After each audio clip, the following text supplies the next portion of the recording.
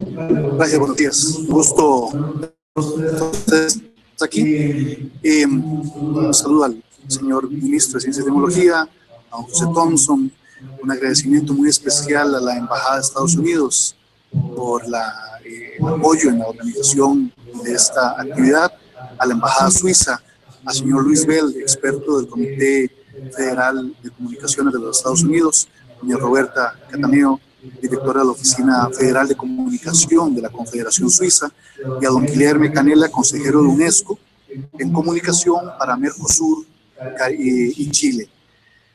Eh, todos sabemos que en Costa Rica eh, tenemos la necesidad de modernizar la legislación en estos temas.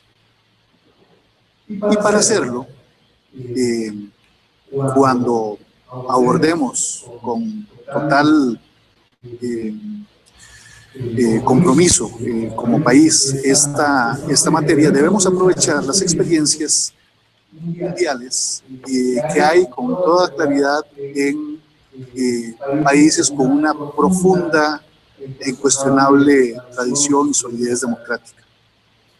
y es un poco el proceso que queremos comenzar hoy acá, ver experiencias, en este caso la experiencia estadounidense y la experiencia de la Confederación Suiza. Eh, más adelante tendremos otras actividades donde veremos otros eh, ejemplos de los avances que se ha logrado en, en países este, de una eh, incuestionable solidez democrática. Y estos cambios, en el caso costarricense, a partir de estos referentes, como son, vamos a ver hoy, el caso suizo, el caso de los Estados Unidos, eh, lo vamos a hacer dentro de cuidando unos pilares esenciales que son, en primer lugar, garantizar que haya un marco jurídico, que lleguemos a tener un marco jurídico que permita una fácil adaptación de todos los actores a las nuevas tecnologías, de tal manera que eh, no sea una legislación que se desactualice en pocos años, sino que sea un marco que nos dure bastante tiempo y que, sea, y que todos nos vamos a adaptar a él eh, de una manera natural eh, y que no ocurra un poco lo que hemos vivido en los últimos años o décadas de un marco jurídico que quedó anclado en los años 50 y que necesita ahora un urgente, un urgente remozamiento. En segundo lugar, proveer al país de un marco jurídico que dé seguridad jurídica a los actores que están participando. Eh, que les permita desarrollar su trabajo, desarrollar sus empresas sin mayor eh, preocupación. Y un tercer pilar que es garantizar una mayor participación de múltiples sectores de la sociedad costarricense en, eh, en la comunicación colectiva. Eh, y ese es como el, el, marco general que debería orientar las, las discusiones en una sociedad con una democracia tan consolidada como la costarricense. Me complace muchísimo ver aquí a representantes de distintos sectores comprometidos con, con este tema, con posiciones distintas también acerca de este tema y que ojalá esto sea un inicio de un diálogo fructífero, provechoso, constructivo acerca de las necesarias reformas que tienen que ocurrir y que nos pueda, eh, que pueda satisfacer las expectativas las justas expectativas de múltiples sectores que eh, están interesados, todos estamos interesados en que sea para fortalecer nuestra democracia y garantizar una sociedad cada vez más solidaria, más participativa y más próspera. Muchísimas gracias y mm, comenzamos con las eh, exposiciones principales.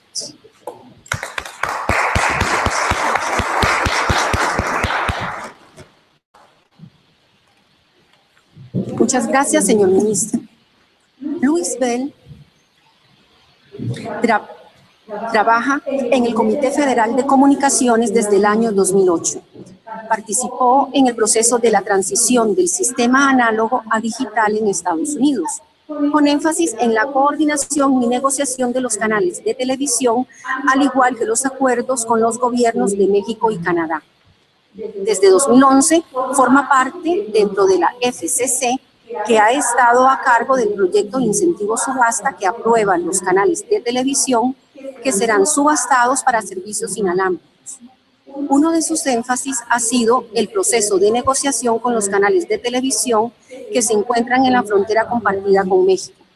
También tiene la responsabilidad de administrar la aplicación COSER, sistema utilizado para coordinar con aplicaciones de Canadá por encima de los 30 MHz. Antes de ingresar a laborar en la FCC, el señor Bell trabajó en la industria financiera y en la academia. En la industria financiera fungió como vicepresidente de administración de producto en Bank Boston, donde estuvo a cargo del desarrollo de software en el negocio del comercio internacional. Viajó por toda América Latina para implementar aplicaciones y tratar nuevos negocios. Fue profesor de electrónica y comunicación en la Universidad Nacional de Panamá, posee bachillerato y maestría en ingeniería eléctrica de la Universidad Estatal de Ohio. El énfasis de su tesis de graduación de maestría fue en óptica y electromagnética. El señor Luis B. está presente a través de la videoconferencia. ¿Listo? Ah, ¿Me escuchan bien? Ok, muchas gracias eh, por eh, invitarme y, darme la oportunidad de presentarles a ustedes el caso que tuvimos nosotros aquí en los Estados Unidos en el proceso de transición. Y espero que lo que vamos a conversar hoy sea fructífero en el caso de ustedes cuando hagan la transición analógica a digital. Aquí Go, go ahead. He's ready. He's ready. Can you put the, uh, the, uh, the, uh,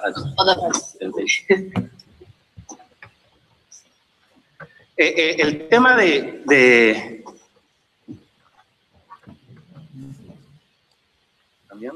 el tema de, de, de, la transición en Estados Unidos fue bien larga debido a, a, a la cantidad de, de, estaciones que tenemos en este país, la población, eh, y la área geográfica. Um, yo espero que ellos lo pueden ver de ¿verdad? Hay una manera en que nosotros sepamos que está.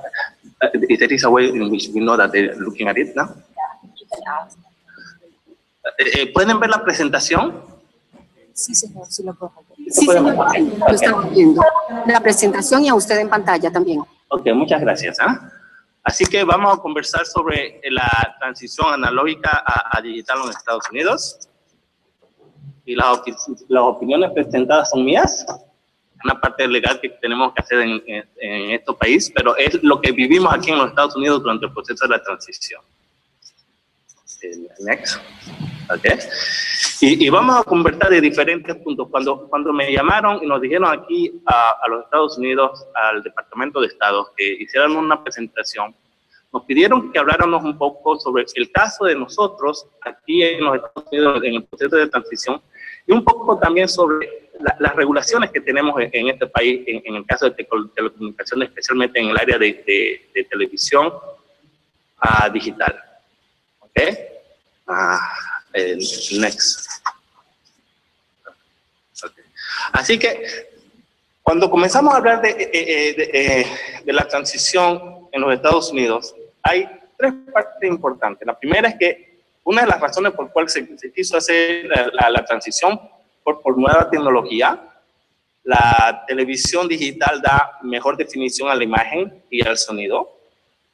La otra parte que era también muy importante de nosotros era limpiar parte de la banda de televisión. Anteriormente la banda de televisión en la parte analógica iba del canal 2 hasta el canal 69, excluyendo el canal 37 que se utiliza para otras eh, aplicaciones.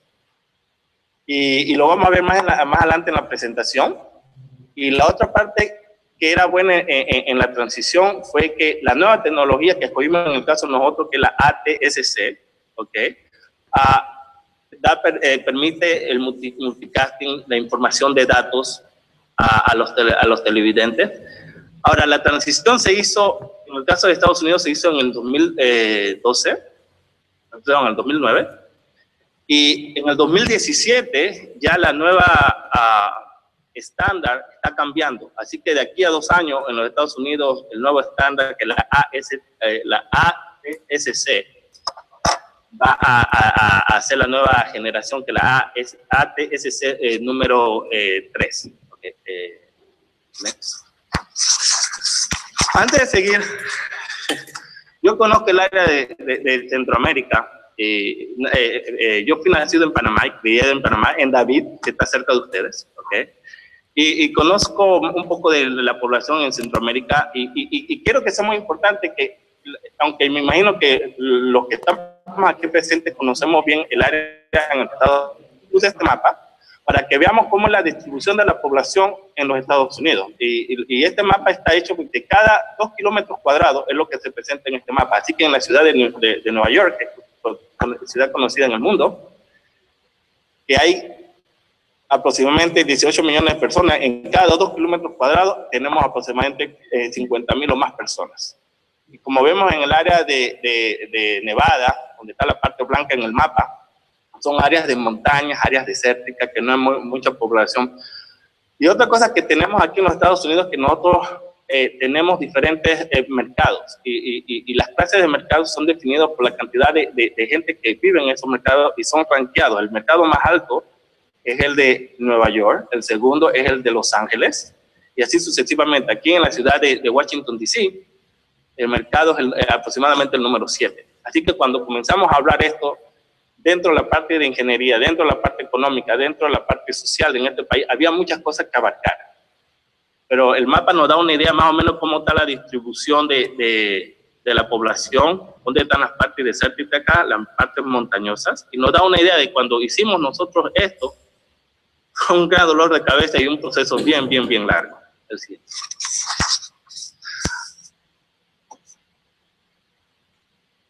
Así que vamos a comenzar con la línea de tiempo para que, que comprendamos qué fue lo que no, qué fue lo que sucedió aquí dentro de Estados Unidos. ¿okay?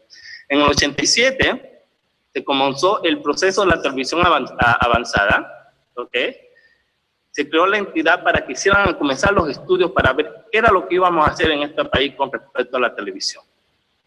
En los años 90 se comenzaron a, la industria comenzó a a ver cuáles eran los estándares que, que, que, se iban a tomar en este país. Y, y, y la FCC, okay, que le llamamos también la comisión, okay, tuvimos muchos estudios y los estándares que se vieron más fueron el estándar europeo y el estándar eh, que escogimos el ATCS.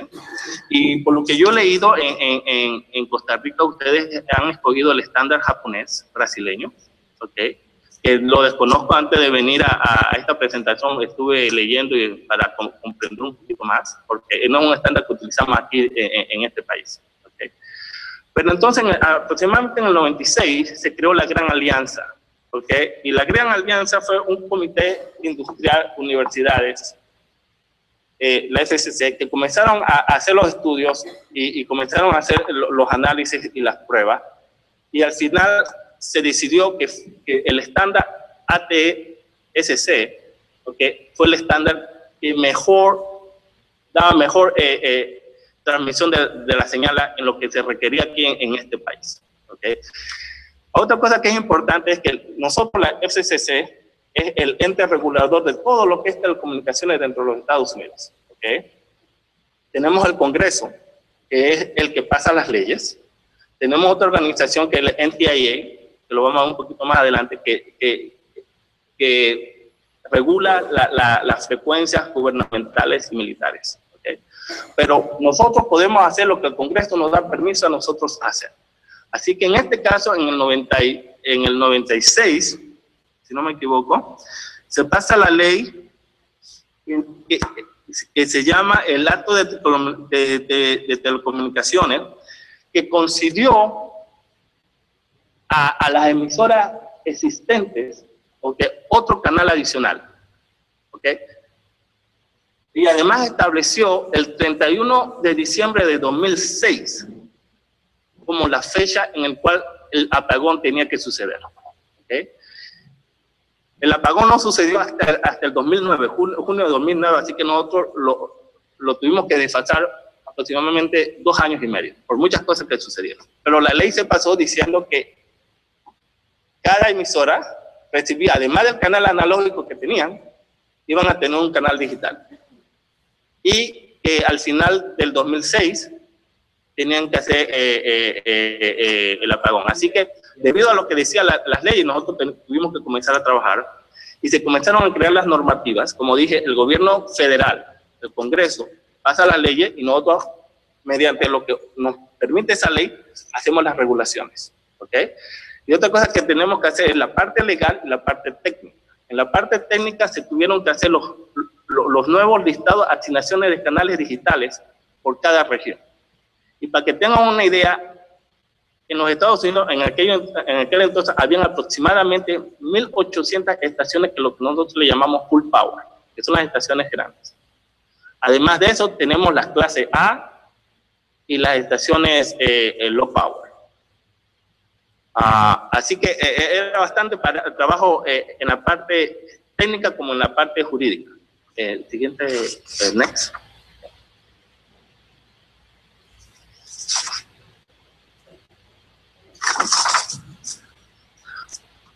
En, en, en, 1902 aproximadamente, ok, ya que habíamos hecho bastantes estudios, ya que se, había, se, se habían comenzado a, crear las tablas de asignaciones. La tabla de asignaciones lo que quiere decir es que en cada ciudad, en cada mercado, existen ciertos canales de televisión que se pueden utilizar en ese mercado. ¿ok? Y se les pidió a, los, a, las compañías que, la industria que, crea lo, lo, los televisores, que, son los fabricantes, que pusieran un sintonizador ATSC dentro de las televisores. ¿Ok?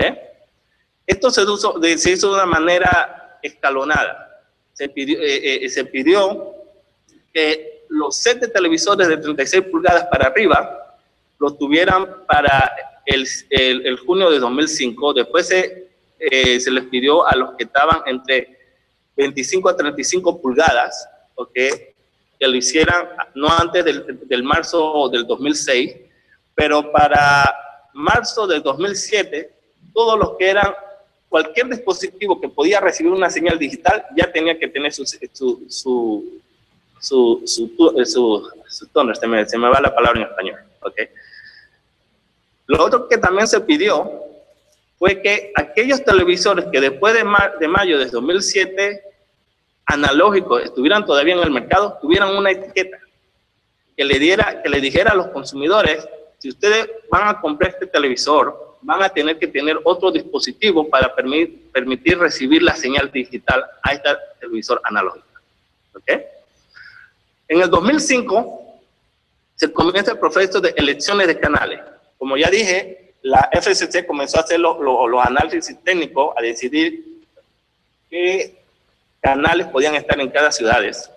Y se le dio a, la, a las emisoras existentes la opción de el canal asignado, un canal digital asignado, por ejemplo, digamos, tuvimos una, en, en, en, Ciudad X, tuvieron, había una televisora que tenía un canal analógico, eh, digamos, 8. Cuando hicimos los análisis, posiblemente esa se le dio un canal digital 24. ¿ok? Así que tuvieron esa opción de coger el, análisis, eh, el, el canal que nosotros le dimos o hacer lo que le llamamos un flashback. El flashback, ¿qué quiere decir? Que si estamos en un canal analógico, digamos, canal analógico 15, vas a ir a digital en el mismo canal, canal 15. Es lo que le llamamos flashback. Y el otro proceso fue tratar de escoger otro canal. Y eso fue un proceso que se hizo en la FCC, la, las cadenas de, no las cadenas de televisión, las, emisoras tuvieron que llenar su formulario, pasar por todo el proceso de, de, de escogencia de los canales que iban a recibir. Ahora, el Congreso crea el programa de subsidio en 1905-1906, ¿ok? Y establece el cambio de, de, de, del apagón de 1906 a 1909, ¿ok? Ahora, como le dije, nosotros, la FCC, están en comunicación directa con el Congreso y, ellos nos piden informaciones, nosotros les damos informaciones, cómo va la los análisis técnicos, cómo va la, parte jurídica que tenemos que hacer y obviamente teníamos problemas y, y lo tuvimos que, eh, que, no, no a pasar, eh, hacerlo más, más después. Pero se pasó el acto que le llamaban el Digital Transition and Public Safety Act de 2005, en el cual se dieron dos, dos cosas importantes. Se cambió la fecha de transición y se dio el subsidio para los, para los convertidores. ¿Ok? Ahora, en 1907 aproximadamente, ¿ok? Se comienza a hacer la, la, la parte fuerte de educación al consumidor, ¿ok? Y aproximadamente en 1900, eh, eh, en 2008, ¿ok? Se comienzan a, a, a, a se finalizan las tablas y, y, se comienzan a hacer procesos de, de, de, de las construcciones. Ahora, hay que pensar que cuando una estación X se le dio un canal, dependiendo de la, dependiendo de la, de la estación, y, es, y no se puede hablar de una manera general, en verdad, depende de la estación, depende de dónde está la estación, qué clase de estación es, y es muy, muy difícil decir en, el averaje, esto fue lo que sucedió, pero muchas estaciones tuvieron que construir en, otro, en otra torre diferente. Muchas estaciones pudieron poner sus antenas en la antena que en, en, el lugar donde existía. Y eso depende, ¿verdad? Depende de estación en estación. You put the, next slide? Ahora, la NTIA, que es la National Telecommunication, eh, so the, eh, can you move so they can see it? Gracias. Thank you. The NTIA, que es the National Telecommunication eh, Information Administration, ellos se encargan de la parte gubernamental y la parte militar, pero ellos per pertenecen a, al Departamento de Comercio. La FCC va directamente al Congreso, así que tenemos dos, dos, dos vías de, de comunicación con el Congreso que son totalmente diferentes. Pero con la ley que se pasó, se le dio la, a, la, a, la, a la NTIA el proceso de manejar el, el programa de, de cupones. ¿okay? También la FCC le pidió a las compañías radiodifusoras, compañías de cable, compañías de satélites, proveer educación al consumidor. Ahora, el proceso sigue en marcha y llegamos aproximadamente en el 2008 que se realice el primer apagón dentro de los Estados Unidos en la ciudad de Wilmington, North Carolina, que en aquel entonces era el mercado 35 más grande. Como dije anteriormente, el más grande es New York, el segundo es a Los Ángeles, el tercero, si no me equivoco, Chicago, DC es el, eh, es el uh, somos como el 7, y la población en DC aproximadamente 4 o 5 millones. Wilmington era el número 38. Y, una de las razones que escogió la, la, ciudad de Wilmington, North Carolina, fue porque la mayoría de las estaciones estaban en, la, banda, en la banda alta, la, la banda U, eh, en la banda alta, la, la banda U. Y era, el área geográfica era bastante plana, ¿ok? Así que eh, era bueno para nosotros hacer ese análisis. Ahora, cuando yo hablo que se hizo el apagón total, ¿qué quiere decir? Quiere decir que todas las estaciones que estaban en Wilmington, ese día, que es el 7 de septiembre 8 de, de 2008, cesaron su transmisión analógica y entraron a, a, la transmisión digital. Fue el primer lugar, el, la primera ciudad donde eso sucedió. Antes de eso, muchas estaciones ya estaban comenzando a, hacer su broadcasting en, digital. Y algo que se les pidió a las estaciones fue que tuvieran las dos, que propagaran en analógico y propagaran en digital. Ahora, esto, como dije, esto depende de las estaciones y, de muchas otras cosas, pero esa fue la idea de mantener a la estación X, todas ellas, propagando voz analógico y digital. ¿okay? Wilmington apagó todas. Hubieron muchos problemas. Se nos dimos cuenta de, de, de varias cosas, ¿okay? pero en, en, la población en general, solamente aproximadamente el 7% de las personas fueron afectadas. ¿okay? Y la, la, la mayoría de los problemas fueron por el seteo del recibidor, por la clase de antena que, que, que, tuvieron y por la pérdida de señal. Más adelante hablamos un poquito más de eso. En el 2009, el Congreso cambió el día de transición para la emisora de, potencia completa. Como le dije, nosotros tenemos diferentes tipos de emisoras. Potencia completa que en, digital en digital son de 15 kilowatts hasta 1000 kilowatts, dependiendo de, de, en qué canal se encuentre. Están la baja potencia que es de 15 kilowatts para abajo y dentro de ella tenemos la clase A, pero todo lo que era full power se les permitió, permitió cambiar de 2006 a junio del, a, perdón, a, a, al 17 de febrero de 2009. Que eso se había cambiado, perdón, y, y, y, se les, y en, en este acto que le llamamos, ah, en el acto del delay, donde se les permitieron cambiar del febrero 9 al, al, al junio, um, no me equivoco, al, al 12 de junio de, de, de 2009. Ahora, ¿Por qué se hicieron estos cambios? En la parte anterior yo dije que la, la, eh, eh, escribí que desde 2008 a 2009 la comisión enfoca la campaña de información al consumidor con los ancianos, la, a los minorías, las personas de bajos recursos, los inválidos, personas eh, que no hablan inglés, lo que llamamos inmigrantes aquí, y, y, y, muchas cosas. Y como el país es tan amplio y hay tantas diferentes, es bien cosmopolita en la cantidad de, de, de, de personas que existen eh, y y cómo reciben sus señales, nos dimos cuenta que la mayoría de las personas que se encontraban en ese grupo de personas eran las que recibían su información por medio de lo que le, le, le llamamos televisión abierta. ¿okay? Y muchas de esas personas no habían hecho el, el cambio del cupón. Eso fue un problema. El otro problema fue que el dinero se acabó. No había más dinero había, había, el Congreso había dado aproximadamente 1.3 billones de dólares y, y, no alcanzó. Así que no, no, nos dio la oportunidad, dos cosas, el delay nos dio la oportunidad, dos cosas, de ir donde la población, ayudar a que recibieran eh, eh, los cupones para que pudieran comprar sus cajas y al mismo tiempo cambiar la fecha de transición a, a verano, como sabemos. Aquí eh, el clima en invierno puede ser bastante difícil. La, no sé si han escuchado en la televisión, hoy vamos a recibir una gran cantidad de nieve y esta ciudad se paraliza de las 12 en adelante y todo el mundo se va para su casa.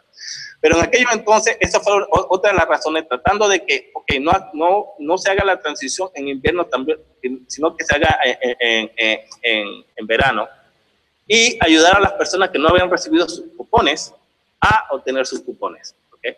La transición se hizo para la emisoras de potencia baja, lo que llamamos eh, baja potencia y clase A, en el 2015, se hizo en septiembre primero de 2015. Así que para junio de 2009, la transición se, eh, eh, se hizo, se hizo de, de, ese día que hizo. Hay otra cosa que debemos conversar que ese fue el día en que ya no iba a haber más analógico. De, del junio 12 de 2009 en adelante, entre comillas, porque tengo que decir otra cosita más, ya la, la parte analógica se terminaba. Eso no quiere decir que todas las estaciones ese día hicieron su apagón analógico. Muchas estaciones antes de esa fecha del junio del 2009 ya habían apagado la parte analógica y estaban propagando en, en la parte digital. ¿Ok? La, la, la, la siguiente. Ok. Uh, no, it should be number, number nine.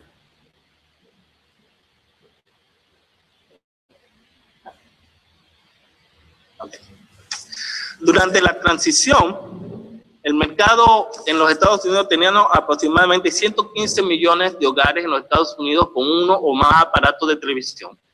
Aproximadamente el 11% de la población lo recibía gratuitamente.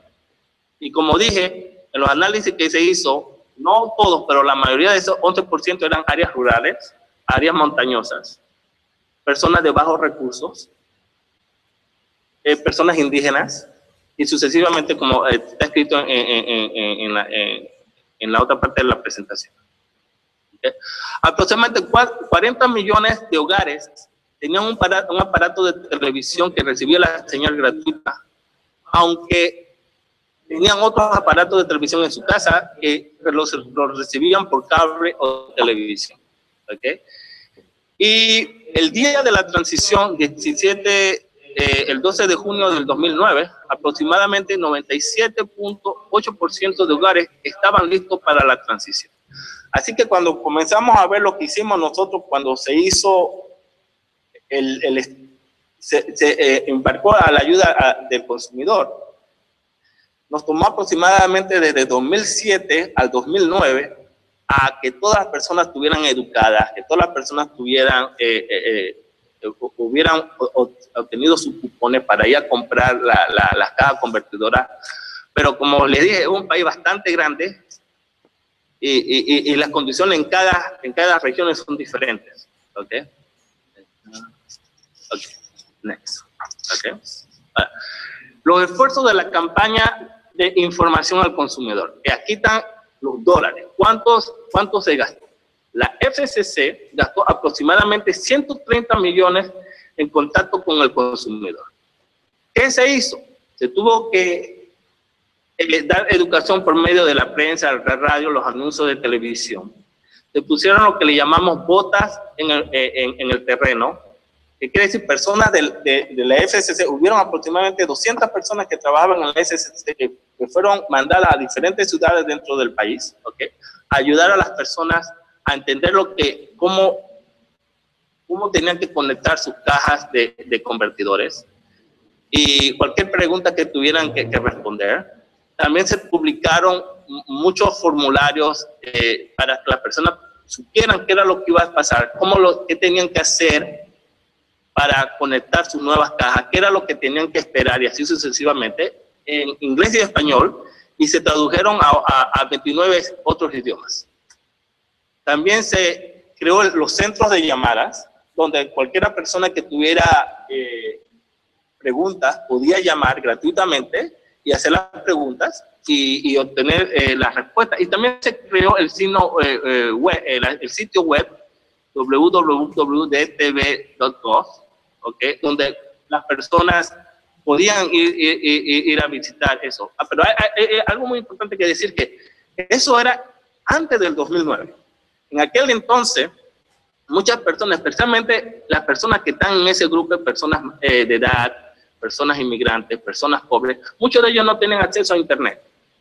Así que la, la, la página de web, en verdad, ellos no los ayudaba mucho. ¿ok? Uh, la mayoría tenía tele, eh, eh, teléfono, pero se tuvo que, en verdad, hacer un gran esfuerzo de enviar a las personas, hacer un, un esfuerzo proactivo, ir a la población y decirle, mira, ustedes necesitan hacer esto, necesitan hacer lo otro. Por la parte de la NTIA, gastó aproximadamente 1.4 billones de, de, dólares en los cupones. ¿ok? Los cupones de subsidio para comprar los convertidores análogos a digital eran dos cupones por familia, dependiendo del, del, del, nivel económico. Así, si usted era millonario, usted podía pedir sus dos cupones. Si era la persona más pobre, usted podía pedir sus dos cupones. ¿ok? Los valores de cupones eran de 40 dólares cada uno. En aquel entonces, una caja convertidora estaba entre 40 y 70 dólares. ¿Ok? Además de eso, tenía que añadirle el impuesto y si lo, aquellos que lo pidieron por medio del internet tenían que pagar por el chipment. Así que los 40 dólares no cubría toda la caja, pero cubría la gran cantidad de la caja. ¿Ok? Por parte de las televisoras, las emisoras, gastaron aproximadamente 1.2 billones de dólares en dar información al cliente. Quiere decir, en, en sus espacios de televisión, en vez de poner un, comercial por ciertas cosas, tenían que poner información para que el televidente supiera lo que iba a suceder en el proceso de transición. Y vemos en la esquina más o menos ciertas cositas que se, se ponían en la televisión y en los panfletos para que las personas lo, lo, lo vieran. También esto se hizo, se hacían se iban a los, a los malls, a los centros de comercios, a diferentes lugares donde las personas van a, a hacer sus compras y se ponían eh, estaciones para que la, para dar información a, a, al consumidor. Así es. Okay.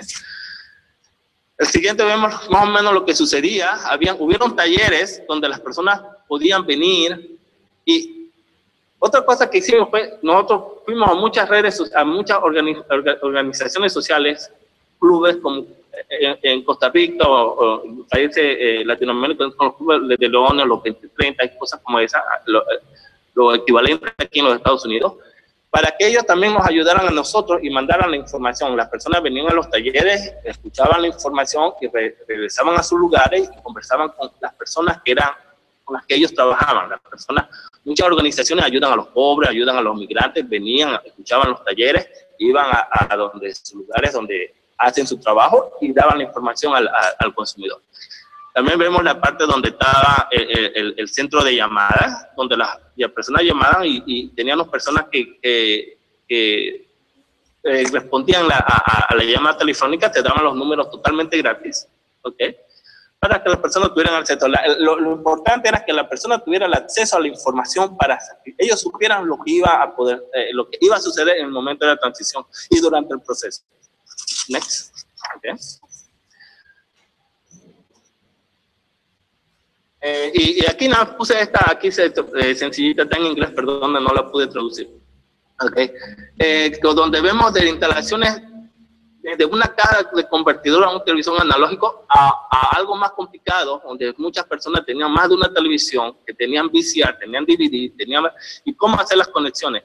Y, y la cosa más importante, en el caso de nosotros, en el estándar de nosotros, que no es el estándar que van a utilizar ustedes, eh, tuvimos problemas en las antenas, ¿ok? Ah, ah, muchas de las antenas no eran las mejores antenas y, vamos a hablar un poquito más, más adelante, pero oh, en la caja de convertidores y las antenas, en la parte de recepción del cliente, cuando se hizo, hacían el cambio, generalmente había que ayudarles a, a ellos a, a sincronizar la caja de convertidora y, y hacerle y, y de comprar, comprar una nueva antena o mover la antena a otros lugares o, o- o ver cómo los ayudábamos pa- para que ellos pudieran recibir sus señales. Next. Así que el, el, el- el proceso de, de transición, eh, perdón, el proceso de transición, ok, I got another one. el proceso de transición, en verdad, tomó desde 19 eh, 1996 hasta 1900, hasta, hasta el 2009. Hubieron eh, varios eh, leyes que se pasaron, se pasaron aproximadamente cuatro, cuatro le- leyes. La le- el Communication Act del 96, el Public Safety Act del 95, que lo cambió de, de, de 2006 al 2009, febrero. El Delay Act, lo cambió del febrero del 2009 a junio del 2009 y, y otras leyes que vamos a hablar un poquito más adelante cuando lo veamos. ¿ok? Pero lo importante es cono- comprender que no se hizo de un solo, no se hizo de un día para otro, que, es que el apagón no sucedió. Este día todo el mundo apagó, hubieron apagones eh, sucesivos. Y, y que fue un proceso, en el caso de nosotros, fue un proceso bastante largo, comenzando en el 96 y terminando en el 2009. Ahora, el régimen regulador, ¿ok? Como dije, el acta de 2005 prove- proveía que para hacer la transición teníamos que tener un una penetración de aproximadamente 85% de penetración, que, que lo teníamos. Eh, Ese no era el problema. Eh, también la ley decía que era el, el 17 de febrero de 2009, que se cambió después, ¿ok? Que los canales 52 a 69 sean muy, sean desocupados. Y aquí, oh, no. Están desocupados. Pero ya. Can you? Can- you go to slide 19? Aquí quiero hacer un paréntesis. No lo tenía así en la presentación, pero pienso que, que- que es importante aquí para que, porque voy a hablar de otra cosita que slide 19. Ok, ahí. Aquí vemos el, el, el- el espectro de televisión, de canal 2 a canal 69. ¿Ok? Cuando se hizo el cambio, los canales 69 a canal 52 se eliminaron. Eso lo, de- lo decía la ley. Esos canales se van. Ninguna estación que estaba en, en esos canales podía quedarse en esos canales. Ejemplo, como hablé anteriormente, si usted era una estación y quería hacer un flashback, y usted estaba en esos canales, obviamente no podía hacer flashback en ese canal, no podía estar de analógico en ese canal a digital en ese canal porque esos canales se iban. Pero hago el paréntesis aquí para hablar del siguiente tema. Ahora mismo tenemos lo que nosotros le estamos, llamando el eh, eh, la subasta de incentivos. Canadá, Estados Unidos y México, a la fecha, estamos trabajando en mover los canales del 51 por lo menos hasta el 36. ¿ok? Y lo pongo en paréntesis porque no sé si esto es algo que el, el gobierno de Costa Rica lo está pensando o están escuchando cuando van al, I- I- a- a- al. ¿ok?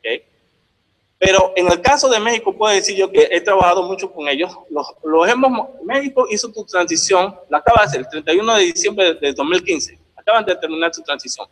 Pero han movido las estaciones que estaban entre canal 36 a canal 51 abajo del canal 37, que no se utiliza para televisión, así que el canal 36 para abajo.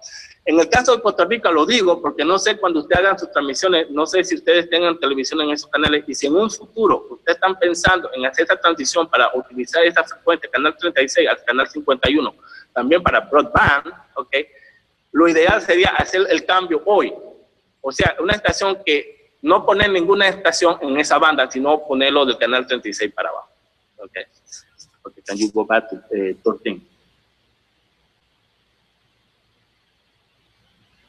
Okay. Ah, se dieron los 40 dólares de, la, de la, para la caja de, convertidores, eso es lo que decía la ley. Se, movió de, eh, eh, eh, se movió de febrero a junio y la otra parte que, que puse aquí también fue la, la, última parte que dice, algunas estaciones analógicas, aproximadamente 120, quedaron en el aire por 30 días con un analog, analog eh, nighttime. ¿Qué quería decir? Se, eh, eh, se, dieron cuenta que muchas personas todavía no iban a poder, a, a, el día que se hizo el apagón, se dieron, eh, sabíamos que muchas personas todavía no, no estaban no tenían los lo equipos necesarios para, para hacer su, su, transición. Y hubo debates, hubieron eh, cosas, y muchas personas decían, no, hay que hacer la transición hoy. Y siempre, haber, siempre, haber, siempre va a haber alguien que no esté listo. Pero entonces, ¿qué se hizo? Ok, se hizo la transición, pero se les permitió aproximadamente 120 emisoras que todavía no la pagaran, no la pagaran, no apagaran el analógico, pero que quedaran en la noche propagando en analógico. Durante el día no podía, pero en la noche sí. Eso fue el Safer Act, diciembre de 2008. ¿Ok? Pero la información que se iba a dar era en caso de emergencias, si hubieran huracanes, si hubieran, eh, lo que hubiera, y, y para, para dar información al consumidor sobre la transición. Así que, por eso digo que no hay un día en que todo se apagó, hubieron muchas cosas que hacer, y este fue uno de los casos en que, ok, todo el mundo iba a pagar ese día, que era el junio 12, procedió 30 días más hasta julio 12 para que ciertas emisoras propagaran información analógica en la noche, solamente informaciones sobre emergencia y, y, y, sobre la transición.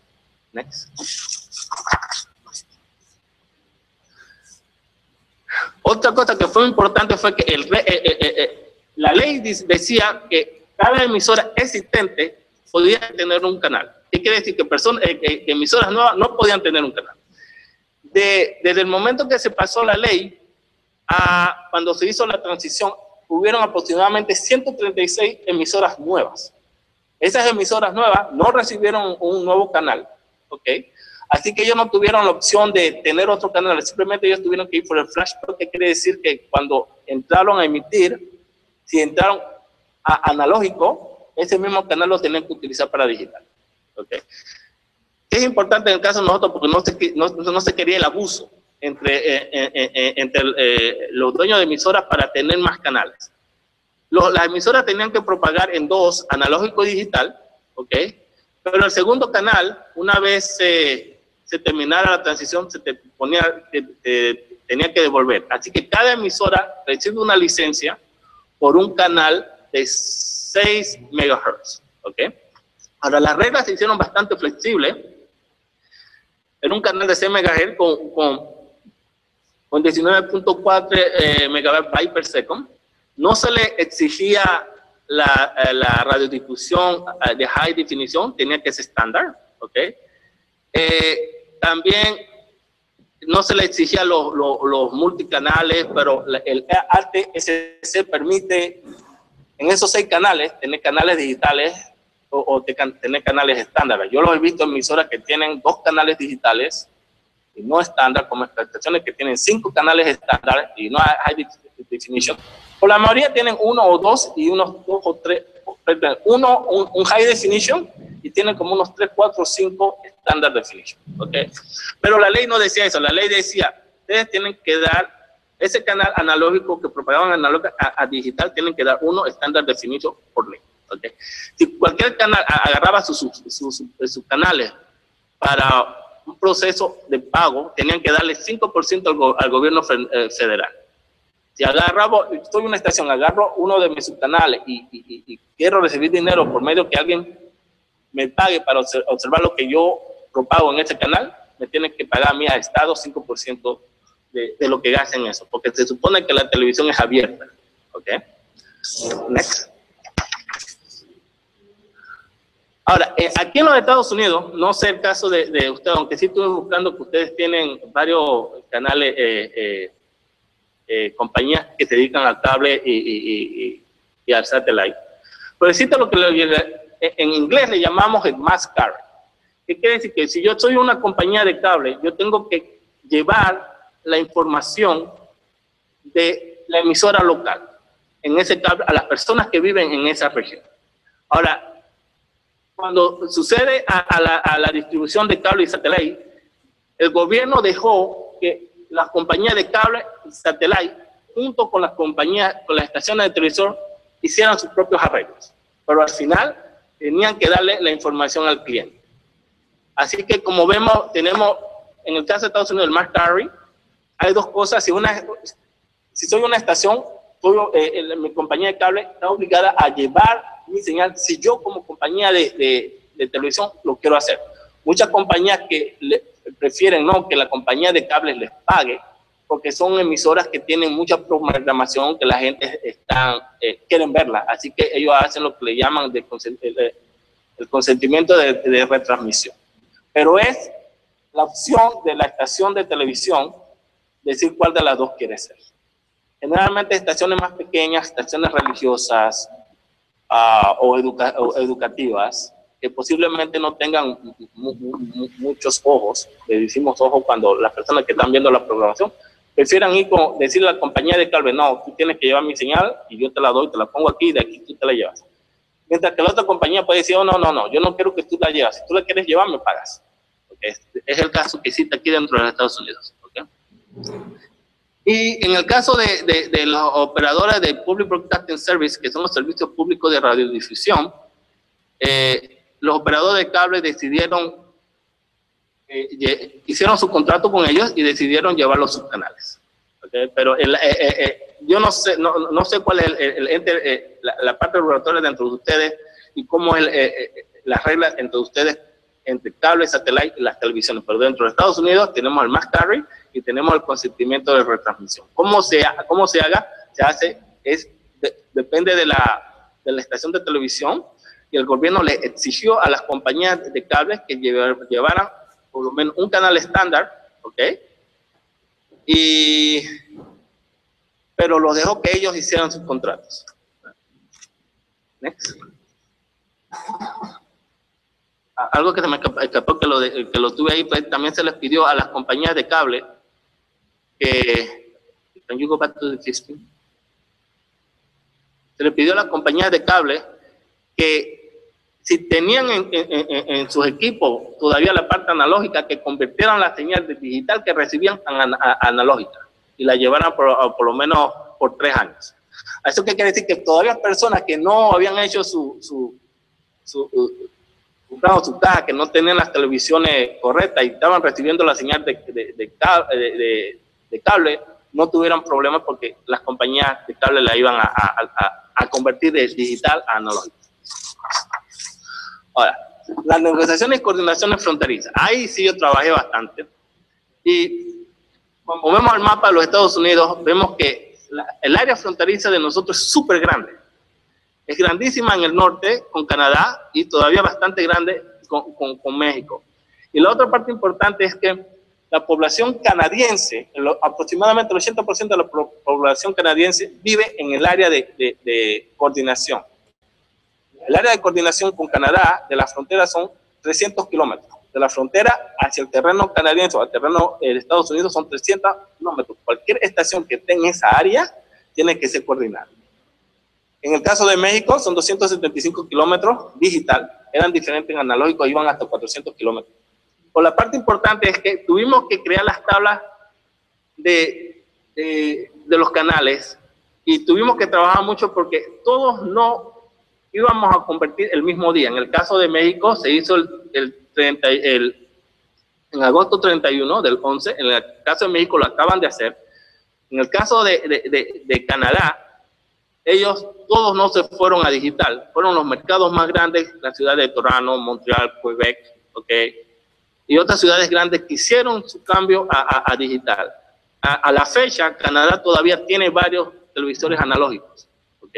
En el caso de México lo acaban de hacer, así que lo último que me informaron fue que había, había salido bien. Me imagino que como en cualquier cosa técnica siempre hay unos problemas que deben estar trabajando en ellos, pero lo importante es que se tuvieron que hacer nuevos arreglos, nue- nueva- nuevas tablas, porque el espectro estaba bien congestionado, especialmente cuando tienen que transmitir en los dos canales, el canal analógico y canal digital. Pero algo muy importante, en el caso de nosotros, nosotros comenzamos bien temprano estas negociaciones. Son negociaciones que en el caso de nosotros demoran por año. En el caso de Costa Rica con Panamá o con Nicaragua, depende cómo lo hagan ustedes, pero el, el de nosotros por la cantidad de población que existe en el área fronteriza el- y la cantidad eh, de estaciones que existen en el área fronteriza, lleva bastante tiempo, lleva bastantes negociaciones. Ok. Ah, no, we should be on. Go to 17. Ok. Resumen de la transición. El 12 de junio, el 12 de junio de 2009, aproximadamente 1.800 estaciones plenas, de plena potencia, operaban en digital. 400 de ellas no eran, no eran de, no eran comerciales, ¿ok? Tuvimos aproximadamente 800 que convirtieron antes del 12 de junio de 2009. Y eso fue lo que yo expliqué anteriormente, que todas no apagaron el mismo día. ¿Ok? Y ¿por qué no apagaron el mismo día? Depende de lo que estaba sucediendo con las estaciones. Cada estación, a veces eran por motivos económicos. Ma- mantener las dos señales analógica y digital cuesta dinero. Muchas estaciones, cuando se hizo el delay, dijeron, no, no, yo no, esto me va a costar a mí mucho dinero, podemos hacer algo. Y se hizo estación por estación, más o menos, ¿ok? A unas se les permitieron quedarse solamente en digital, otras se les obligó, o ellas lo, lo decidieron propagar en, ambas, en digital y analógica. Y aquí tenemos que ver la parte comercial, muchas estaciones sabían que su población no estaban recibiendo la, señal digital, así que le convenía a ellos propagar en analógico. Así que eh, eh, no, no quiero que, que, que piensen que había una ley que decía esto es lo que hay que hacer en este momento. Había muchas cosas que dependiendo de las, de las situaciones, de de la situación de, de la estación, de la situación del mercado, ajustábamos para ver cómo ayudamos, ayudábamos a ambos, al consumidor y a las estaciones. ¿Ok? Aproximadamente mil estaciones hicieron su, co- su conversión el 12 de junio de 1909. ¿Ok? Las estaciones de televisión en conjunto gastaron aproximadamente 10 billones de dólares. ¿Pero eso qué quiere decir? Habían unas estaciones que tenían que poner nuevas antenas. Dentro de las estaciones tuvieron que cambiar toda su tecnología de, de analógico a digital. El gobierno dio ciertos subsidios a, a- a- a boosters, que son los powers para que pudieran hacer la retransmisión digital, pero no, las estaciones no recibían dinero del, del gobierno de fe- federal para hacer estos cambios. Eso era algo que ellos tenían que hacer. Por eso era que muchas estaciones no querían demorar tanto, querían hacer sus, sus, ah, sus cambios antes. Eran costos de dinero, costo de transmisión, costo de, de- de equipo y así sucesivamente. De todas las estaciones que, que- que tuvimos, solamente cuatro no hicieron su transición. Pero esas cuatro no hicieron su transición por problemas económicos. Quiere decir que eran estaciones que no tenían la, no estaban recibiendo suficiente dinero para quedarse propagando, estaban perdiendo dinero siendo estaciones de televisión y decidieron, ok, yo voy a terminar de ser una estación de televisión y, adiós. ok. Next.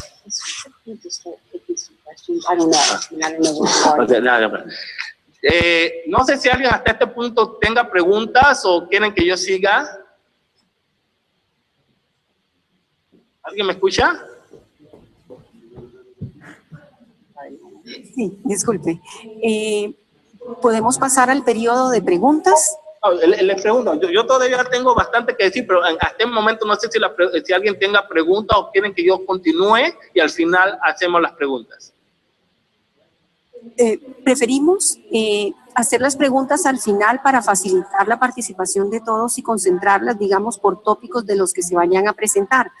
Y le agradeceríamos que continúe con lo que falta de la presentación porque debemos también continuar con el programa. Sí. Ok. Ah, eh, tomo la página 18. Ok. Ah, eh, la, transición se hizo completa. Eh, eh, eh, eh, eh, eh, esta página te explica lo que sucedió eh, al final de la transición. Ok. Y lo que eh, eh, me- mejoramos después. Go to the next page. Ah, go to 20. Ok. Eh, algo importante que cuando se liberaron lo- los canales, eh, la, subasta de los 700 MHz, ok, se hizo en el 2008, que fue antes de la transición. Se, recu- se recuperaron 19.6 billones de dólares de ganancia. 1.4 de esos 1.6 billones se utilizaron para los cupones. ¿Ok? Eh, el canal, esa banda se, se, se dividió entre 74 MHz para comercial y 34 MHz para usos públicos. Next page. Lo que sigue es que, que- marchó bien, ¿ok? Eso, es- eso es lo que eh, eh, pensamos que marchó bien, que la co- co- coordinación con NTIA, con las emisoras para dar la información. Algo que es muy importante en el caso de nosotros con los gobiernos locales, digo los gobiernos locales, porque una ta- estación que tenga que poner una nueva antena tiene que pedir los permisos a la comunidad para hacer los permisos de construcción y, todo eso. Así, Hubo mucho, mucho diálogo entre la, la comisión, nosotros y los gobiernos eh, eh, locales, tanto estatales como locales. ¿ok? Next.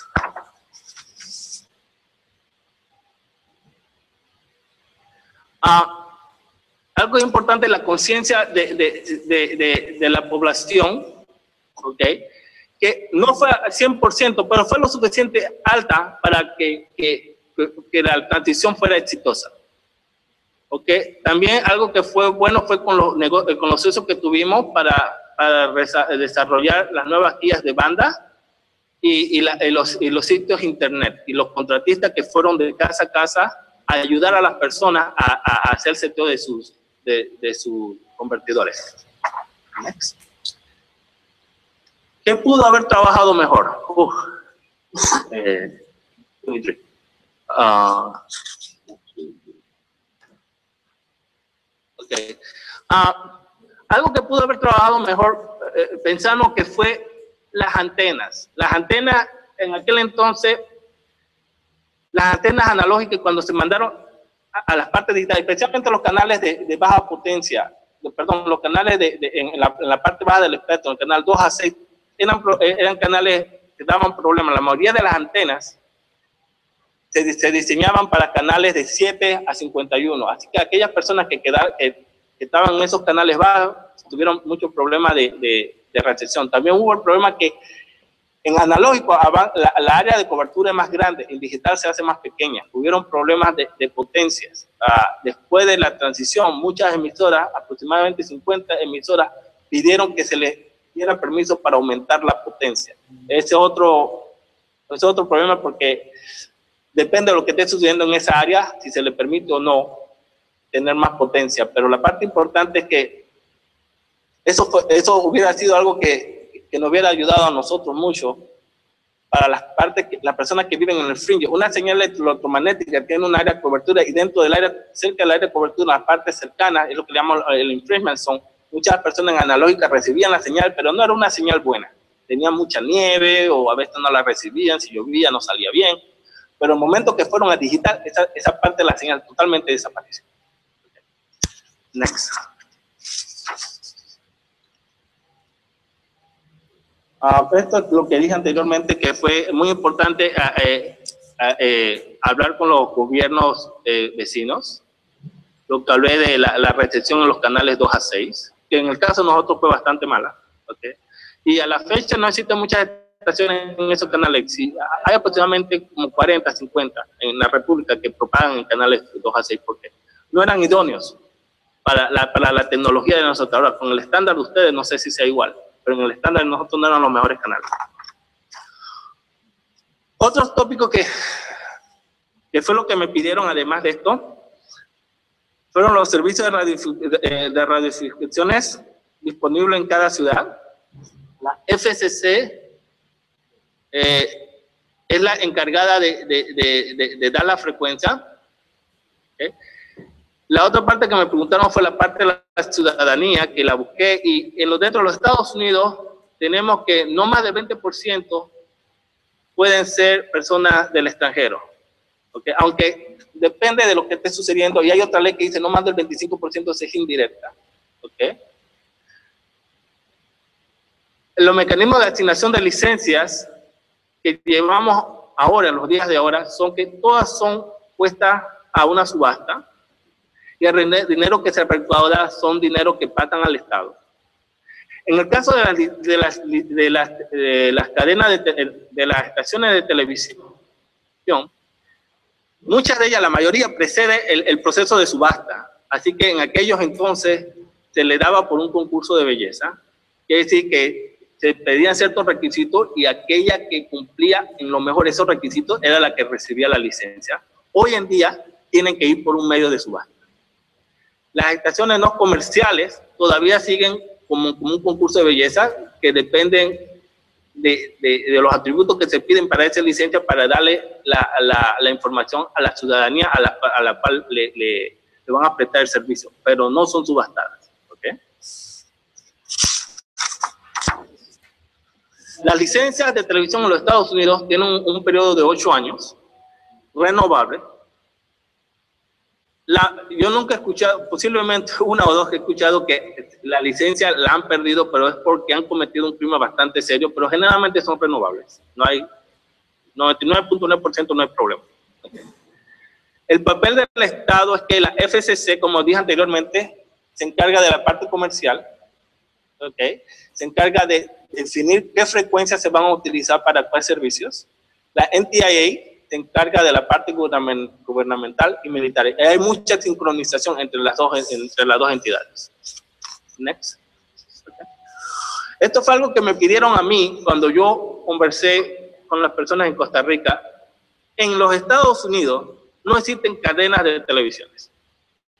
Así cuando ustedes escuchan CBS, NBC, Fox, esas son organizaciones que, que dan eh, la programación, pero no son dueñas de las estaciones. Ahora, muchas estaciones son conglomerados de estaciones que son dueñas de varias estaciones y que se afilian a NBC, CBS o esas entidades.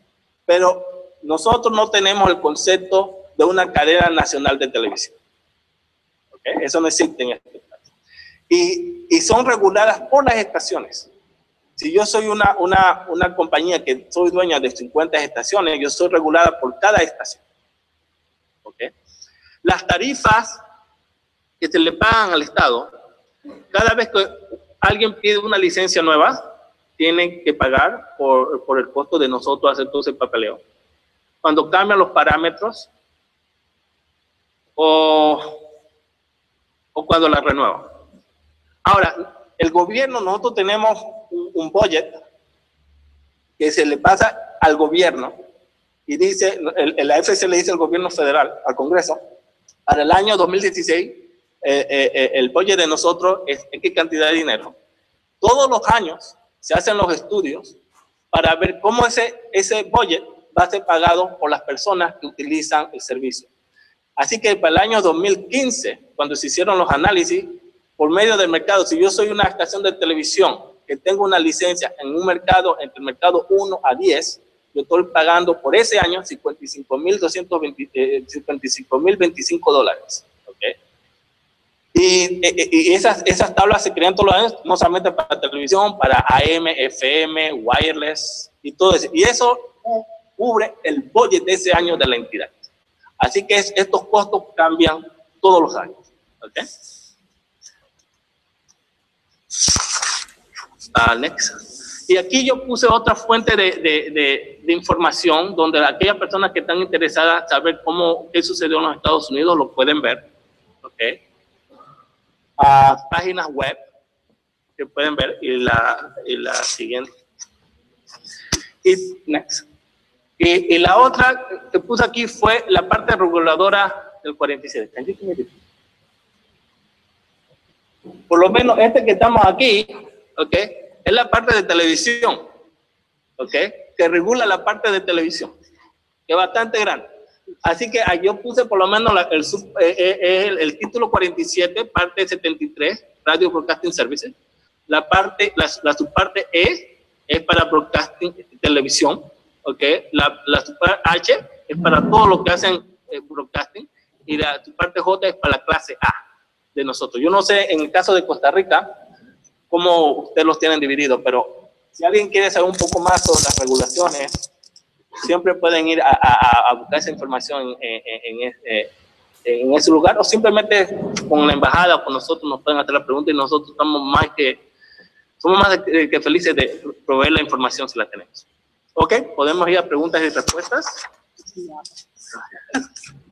Muchas gracias, señor Luis. Vamos a dar inicio en este momento al periodo de preguntas y respuestas. Las personas que tengan a bien pueden acercarse al micrófono, favor decir el nombre y la institución o la organización a la que pertenecen para que el señor Luis pueda, señor Bell pueda tener eh, conocimiento de quién está hablando. Adelante, por favor.